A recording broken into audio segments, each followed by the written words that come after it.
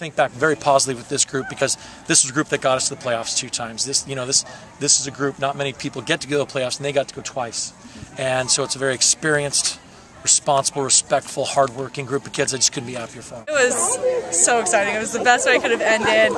We have two more games coming up though, which conference. So hopefully we can take this game and take this motivation and hopefully put it towards the rest of our season. We were playing well, but we weren't getting the crosses across. We weren't finishing. It's kind of like we needed just to get that final cross, that final touch, and just get it on frame. Something clicked, and they started playing two, three touch soccer, and then the ball movement took over, and then from there on, we had more of the ball.